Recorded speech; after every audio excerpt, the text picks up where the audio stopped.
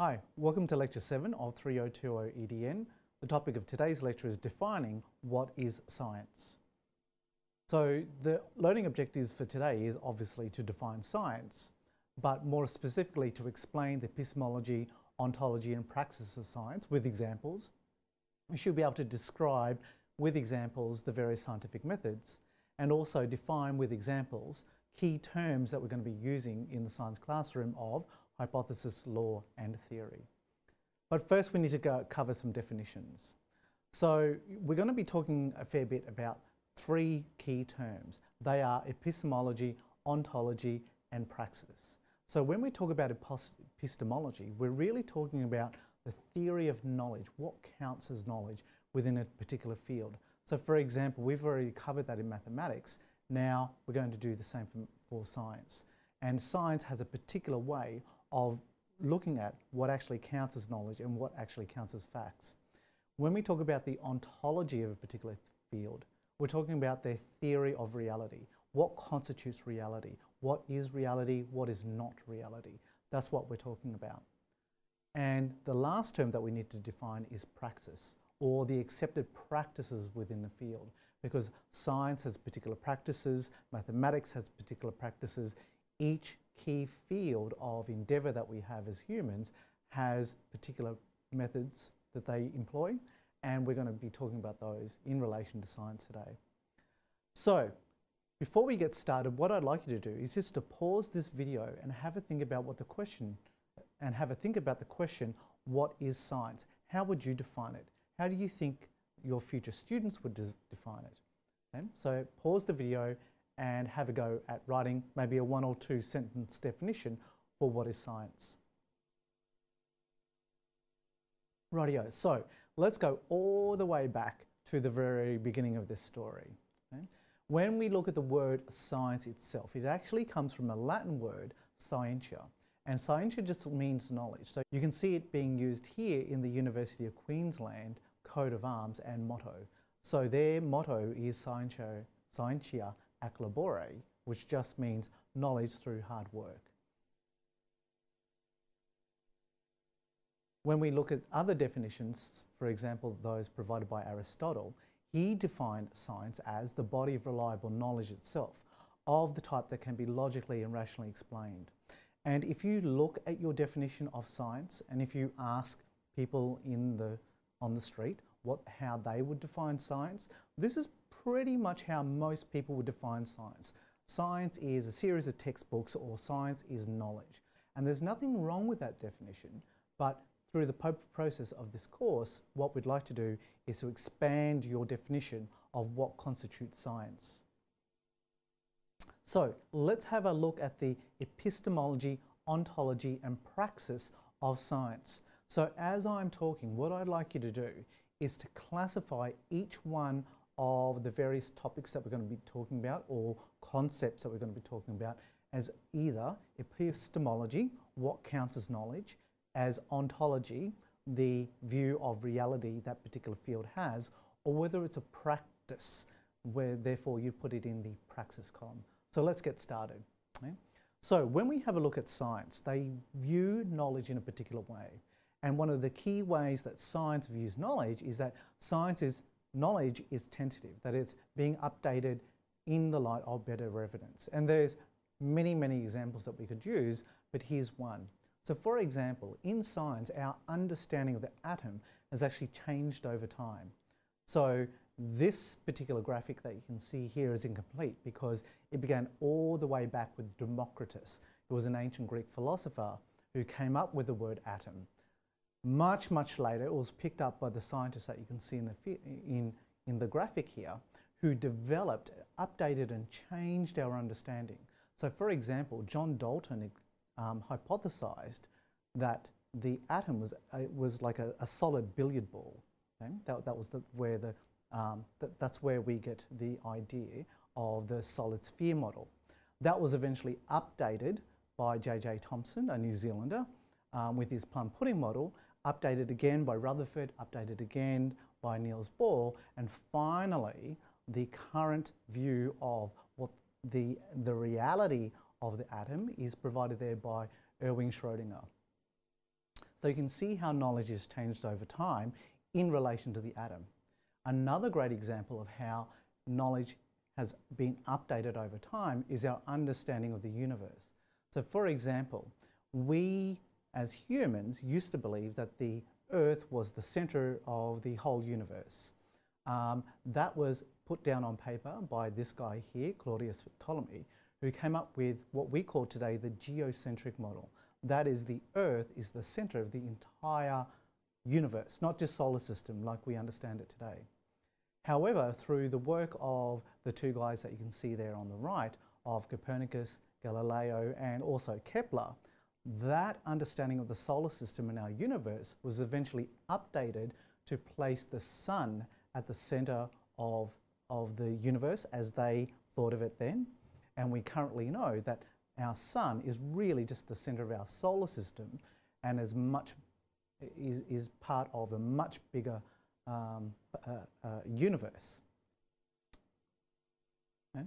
So what you should get from all that, that really that science does produce knowledge. That's one of the, the key activities of science, producing knowledge. But we want to produce knowledge which is replicable. That is, if I conduct an experiment here in Australia, that can be confirmed by my colleagues over in China or the USA or in Russia, that it's convergent, that any findings that I make as a scientist are corroborated by other scientists from other fields. We can't have, um, say, for example, um, anatomy disagreeing with physiology, for example.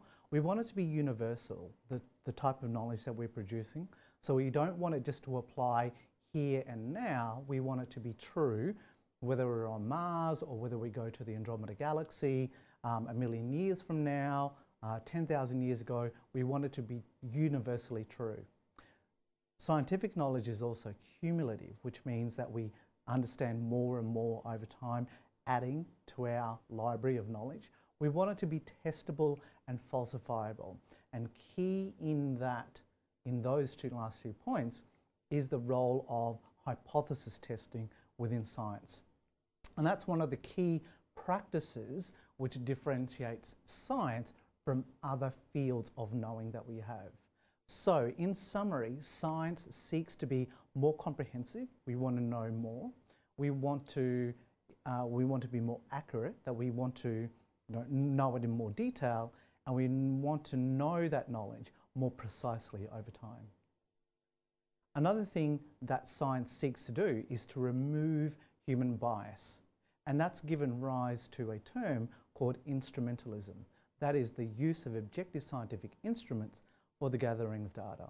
So for example, we can lay down our um, experiments on a continuum from subjective to objective. So there are subjective ways of measuring and understanding the world, and there are more objective ways of measuring and understanding the world. So for example, say we're going to take the temperature of a cup of tea we can either dip our finger into the cup of tea and then decide on the temperature, or we can use a thermometer.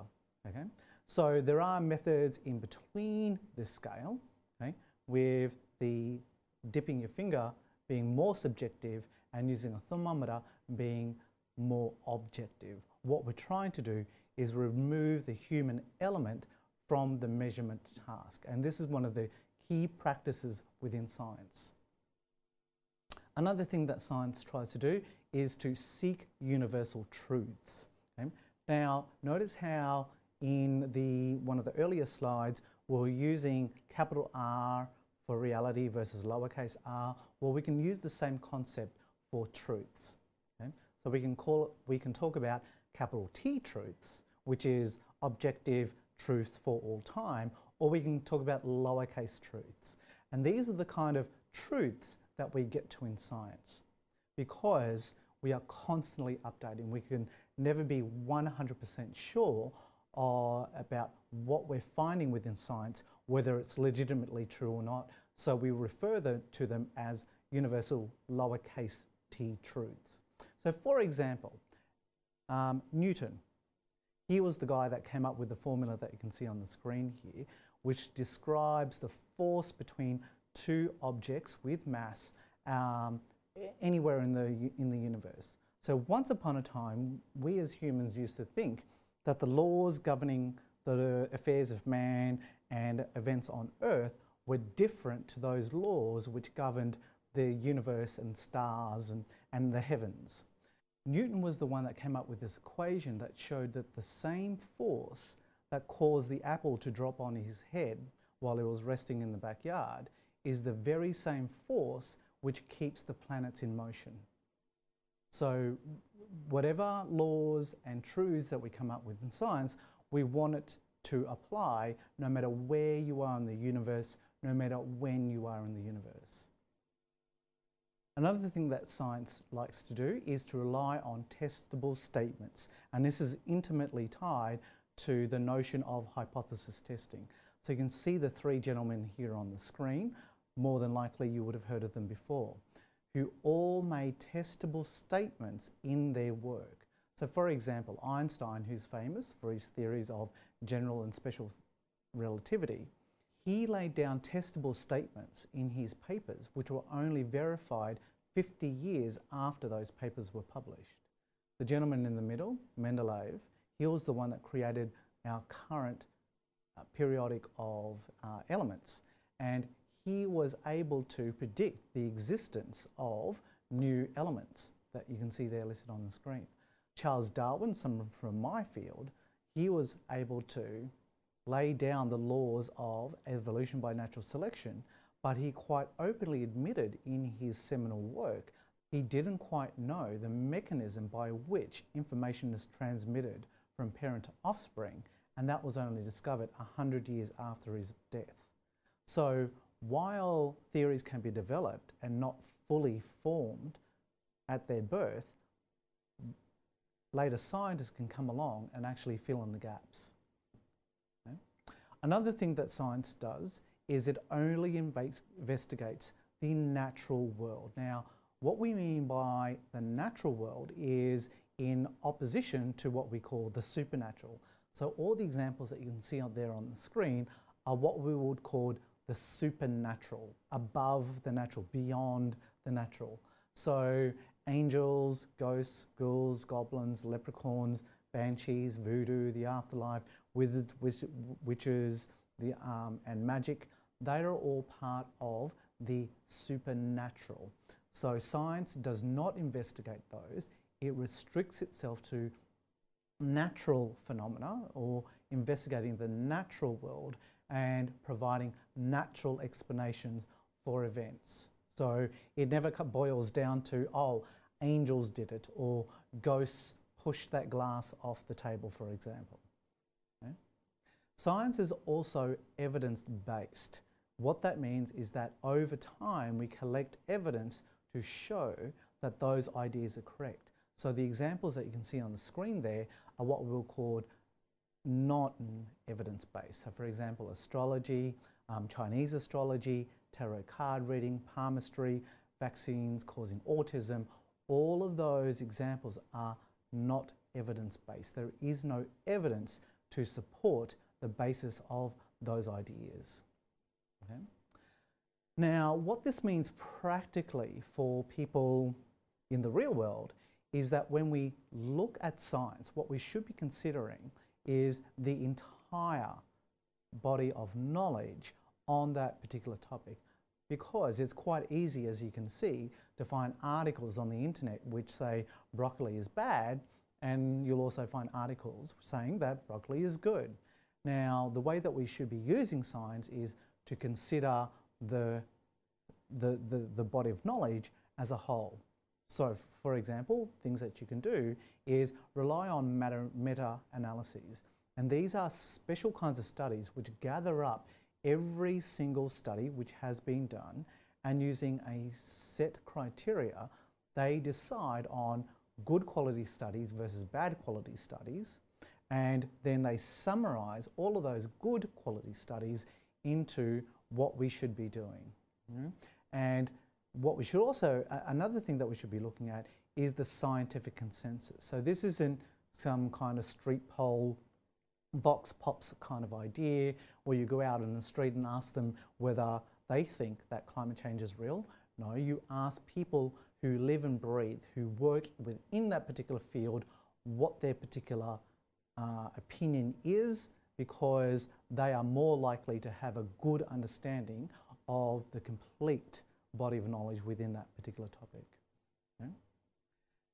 And another thing about science is that the theory is the pinnacle of scientific knowledge. And so all the gentlemen that you can see there on the screen, they have key theories which underpin each one of those fields. So for example, in physics, it's Einstein. In my field of biology, it's all underpinned by the theory of evolution by natural selection developed by Charles Darwin. Lemaitre is the guy when it comes to cosmology because he's the one that initiated the theory of the Big Bang. We can look at Alfred Wegener who came up with the theory of plate tectonics within geology and within chemistry, Dalton and a whole range of other chemists who are working on the particle theory and refining and developing our understanding of the particle over time. So all of these have the word theory in their name. And when you talk to people on the street, they tend to use theory in a derogatory way, that is just a guess, that is just somebody's wild, crazy idea. They use it all the time in CSI um, when they really mean that they, they think they have a hypothesis of who the murderer was. In science, the word theory is the pinnacle of scientific knowledge. This is what everybody is actually working towards developing, testing, working out the extent of theories, what it applies to, what it does not apply to, and seeing if we can use theories to explain more and more phenomenon over time. So a more correct definition of theory is what you can see on the screen. It's an interconnected system of ideas with internal external logical consistency and supported by multiple lines of evidence that have explanatory power and predictive power. So it's not just one single idea, it's a number of ideas which are interconnected. And not only are they interconnected, but they need to agree with one another, which is internal consistency, but they also need to ag agree with ideas outside of those fields, which is external logical consistency. And that's what we mean by supported by multiple lines of evidence. So for example, if you look at the theories of climate change, or if you look at theories of evolution, all the respective fields within those areas actually support those two ideas. Not only then do they need to have explanatory power, they need to be able to explain all the findings or the majority of findings which have come before it, but they need to be able to have predictive power, that is, generate hypotheses which are able to test the boundaries and the effectiveness of that theory in explaining not only old knowledge but also new knowledge as well. Okay? So here's an activity for you. Now this is a this is a graphic organizer and it's a great learning tool to help you and your students define terms. So what you do is you put your target term in the middle there, in this case it's science. What I'd like you to do is to use this graphic organizer to, to summarize everything up, un, up until this point about examples and non-examples. Once you've done filled in those two lower boxes, then you list the characteristics using those, those, uh, those two ideas.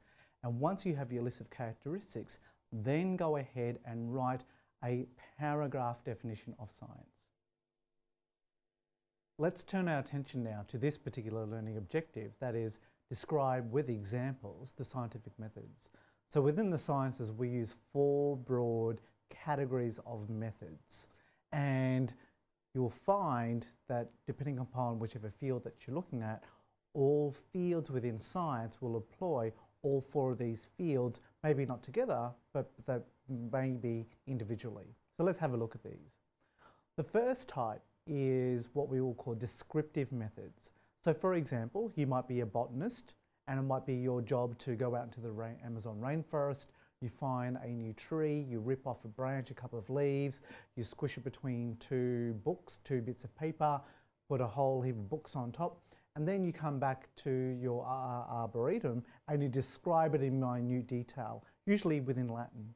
Or you might be a geologist roaming around the Badlands over in the United States. You might pick up a rock, you might hit it with your hammer, you might look at it under a uh, hand lens, or you might um, put some acid on it, or you might lick it to look at other properties. Either way, you are a geologist and you are employing descriptive methods because in that instance, you're describing types of rocks or minerals that you're discovering. Or you might be a scientist on board the ship that you can see there, HMS Beagle, and it's your job to, as you go around to new countries, it might be your job to describe the new plants and animals that you find. So for example, a, a good real world example for Australia is the role of uh, Joseph Banks in the original um, in, Endeavour. Um, is the role of Sir Joseph Banks in the original Endeavour mission, which was to view the transit of Venus over in Tahiti. And a side mission was to discover this great unknown southern continent in the southern hemisphere. So that's descriptive. There are another broad family or category of methods known as modelling methods and all branches within science use, uses modelling. So for example, you might be a physicist and it's your job to test the aerodynamics of vehicles by placing them in a wind tunnel. So you can place a physical model within a wind tunnel and explore the stresses and strains on various components of the vehicle, or you can do it virtually. So you create a virtual model of your vehicle and you place that inside a virtual wind tunnel. Either way, you are modeling what's going on. Okay? Or you might be a geneticist and it's your job to, to research various um, human genetic diseases. Now, it's unethical to perform certain types of experiments on humans, so we use animal models to, to, to, study those kind of uh, diseases. Or you might use a mice, uh, or, uh, sorry, or you might use a mouse to model the progression of various diseases such as lung cancer or skin cancer or things like that. You could also be a atmospheric scientist, so you might be you might be exploring the formation of hurricanes, or you might be a meteorologist whose job it is to track uh, cyclones as they form. Okay? Another type of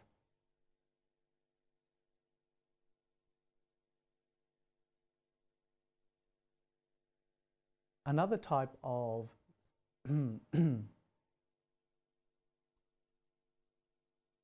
The third broad category of scientific methods is that of theoretical methods. Now, the three gentlemen that you can see on the screen there are largely from the world of physics. Well, they are from the world of physics. That's because it's a technique which is used primarily by what we'll call theoretical, theoretical physicists. So if you are a fan of the Big Bang, within that show, Dr. Sheldon Cooper is the theoretical physicist. And you've also got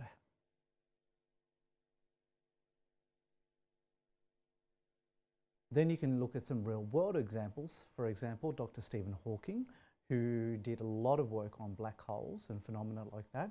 Or you could look at Peter Higgs and his colleagues. So back in the 70s, him and his colleagues, they got together and they developed a mathematical model, a mathematical theory about the existence of, of this field, which they ended up calling the Higgs field. And if you excite that field in a particular way, then it produces a particle of known mass and energy.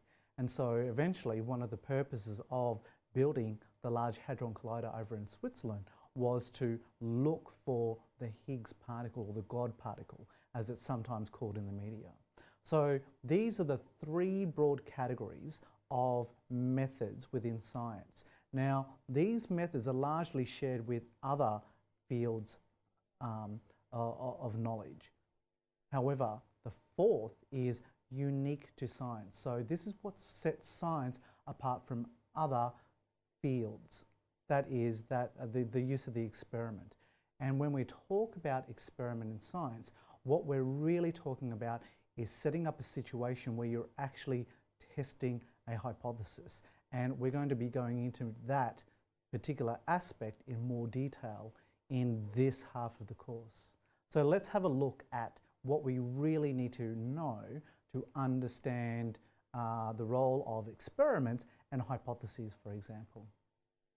But before we get on to that, what I'd like to do, what I'd like you to do, is to have a go at ranking what you think the order of importance of these three ideas are within science. So rank, them in order of most important in science down to the least important in science. So pause the video, have a go at that, and then come back and we'll keep going. Welcome back. So hopefully you've had a look at that and you've actually now listed what you think is the most important of these three and what is the least important. Now, having said that, all three of these ideas are actually important within science, but some are more important than others. Okay, so let's have a look at each one in turn. So for example, now when you talk to people of the general public and you ask them what a hypothesis is, you generally get the answer that it's a guess, that it's a wild idea, um, that it's an educated guess is another thing that you'll hear most often. However, in science, and a lot of words have this, have, have this happen to them, within science, when we talk about a hypothesis, we're talking about a very, very specific thing. What we're talking about is a testable statement that explicitly predicts the causal link, and that's the key aspect here, that predicts the causal link between two or more variables. So, so eventually what we're going to do is have a look at some examples of hypotheses. So here's a good example. Now, this is the phenomenon of, that a lot of us are familiar with, is the case of trying to lose weight. Okay? Now, in science, we call that body mass, but potato, potato. Okay? So, if losing body mass is the effect that we're interested in, we know that that, that weight loss is actually impacted upon by a whole variety of factors, which we have called C1 through to C5 here. So for example, your genetic makeup, that will determine your ability to lose body mass. Your diet, what you shove in your mouth, that's going to determine the amount of exercise you do, how active you are, whether you have a sedentary lifestyle. Lifestyle factors such as smoking and drinking, they will have an impact upon your weight.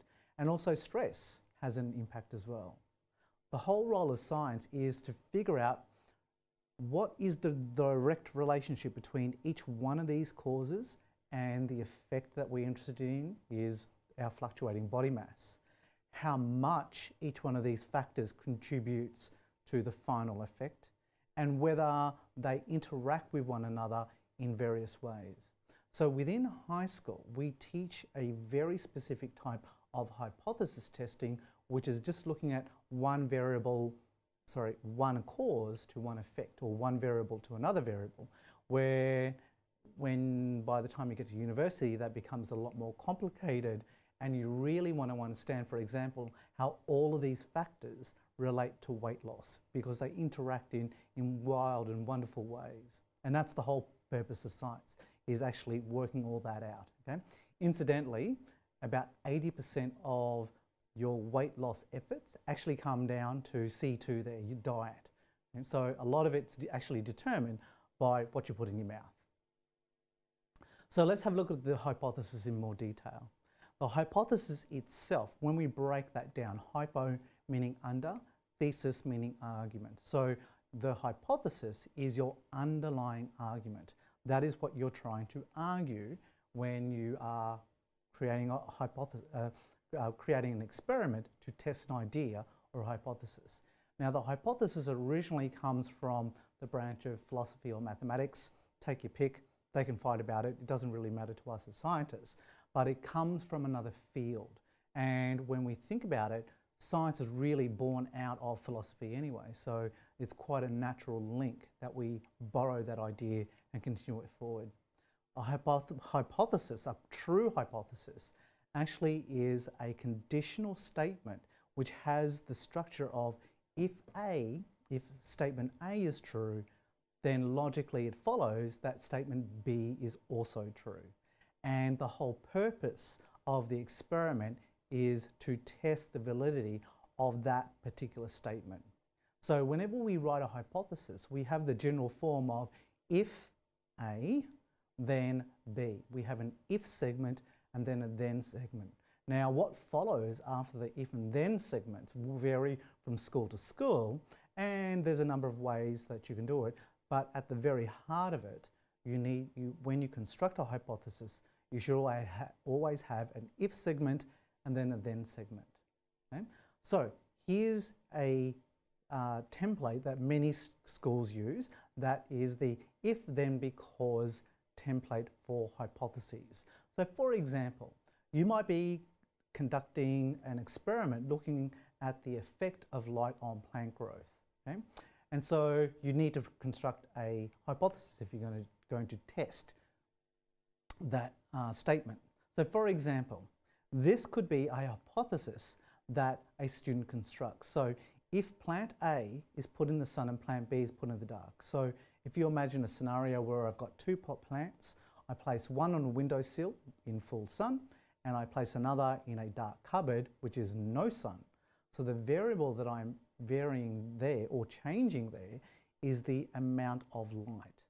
So in the if segment, I talk about the independent variable. In the then segment, this is where I make a specific prediction about which way I think the causal relationship is working. So for example, I, so the variable that we measure or the dependent variable goes in the then segment and as an example, as our example shows here, plant A will grow more than plant B. Notice how I'm making a very, very specific prediction about which instance is going to win in this particular case. Now, in the if then because frame, then what we do is we provide a scientific reason of why we think there exists this relationship about the amount of light and the amount of plant growth in plants. So there's a great example of a hypothesis in the if then because structure. And the other thing is, is that this kind of experiment is, when we think about experiments more generally, um, would, would, be performed in a laboratory because it's a, a laboratory is a highly controlled environment because the only variable that we want to be different between these two cases is our independent variable, in this case, the amount of light. We want them to have the same amount of watering, have the same amount of soil, the same pot size, the same plant age. All other variables need to stay the same for us to really nail down what is the causal relationship between the amount of light and the amount of plant growth. So we can do experiments within laboratories, and that's the general case. However, we can perform laboratories, uh, we can perform experiments wherever we like. So for example, here's another hypothesis. So in this case, we're testing the hypothesis uh, looking at the relationship between the sex of an individual okay, or the gender of an individual and their attendance at say the Indy 500. So for example, we might construct a hypothesis which looks like this. Our independent variable, the variable which is changing in this example is the sex of the individual, whether they are a boy or a girl. The variable that we're measuring, or our dependent variable in this instance, is Indy attendance. So notice once again how we're making a very specific prediction about who is going to go to the Indy car races more, boys or girls. And then we provide a reason. Now, this isn't a particularly good reason, but you should always try and provide a reason. Okay? And so this is what we call a natural experiment because we weren't able to man directly manipulate the independent variable in this instance. We're just going out, we're observing a natural occurrence of attendance at Indy uh, 500 and then drawing conclusions from that. Okay? So you can perform experiments either in the laboratory or in more natural settings, out, out in the wild, as scientists would say. So let's go through now and define the difference between law, hypothesis, and theory because it's really important for us to differentiate what those three terms mean. Now, when you ask people generally on the street about what they think is more important, law, hypothesis, or theory, they will more than likely say law because in everyday life, laws are what governs the running of Australia and it defines what everyone should do. Okay? However, in science, when we talk about law, what we're really talking about is just a statement about the relationship between variables. Okay, so for example, you can see there uh, the gas laws, okay, which relates pressure and volume. You can see there Hooke's law, which looks at the behaviour of elastic materials, which have forces added to them. Or you can look at Snell's law, which looks at the behaviour of light as it passes through different media. Or you might look at uh, Newton's three laws of motion, which obviously describe how things move. Okay? So when we're talking about hypotheses, laws, and theories, laws are kind of the, the base, okay, uh, and is of the lowest form of those three. More important than, than laws are the two ideas that we're going to talk about, hypotheses and theories. Okay? So the pinnacle of scientific knowledge is the theory. So as we defined earlier, a theory is an interconnected system of ideas with internal external logical consistency. So it needs to be consistent with ideas outside and inside the field and also be supported by multiple lines of evidence. Okay? So for example, the cell theory, the theory that all living things are made up of cells, or the atomic theory that all things are made up of atoms or, or particles, or the germ theory that, that disease is caused by things called pathogens. So these are the actual pinnacle within science because we're trying to build knowledge over time. That's one of the, the primary reasons of why we do science. So let's have a review. Let's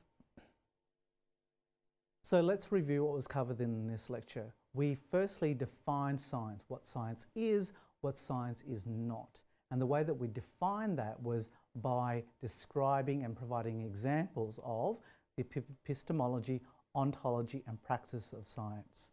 We've also looked at the four types of scientific methods and we gave examples of those. And then we've defined laws, theories and hypotheses. Thank you.